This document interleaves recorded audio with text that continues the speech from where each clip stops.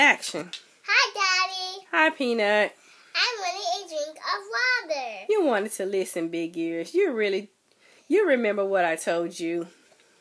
Keep brushing to the light and my toothbrush stop flashing. Yeah. But the other thing, the super important one you can't ever forget.